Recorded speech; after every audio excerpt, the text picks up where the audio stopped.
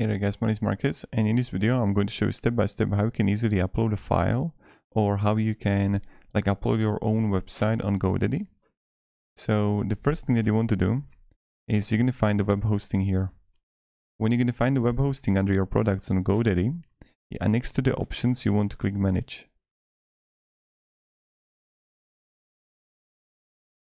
And right here you're going to have uh, the accounts and everything so here you're gonna have tools and you wanna click here file manager, launch. So right now we're gonna get to the file manager and here you're gonna be in uh, like where you wanna upload files and upload your website. So you're gonna have the public HTML and everything. So what you can do is that uh, here is public HTML.